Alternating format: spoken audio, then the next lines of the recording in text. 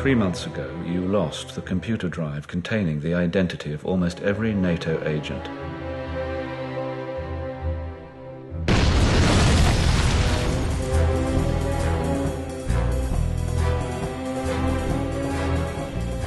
Double O Seven reporting for duty. Where the hell have you been? Enjoying death. How much do you know about fear? All there is. Not like this. Not like him.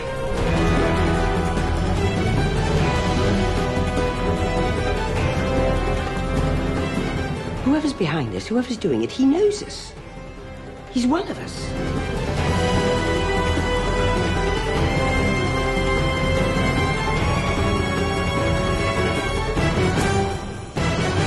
Mister. Bond. James Bond.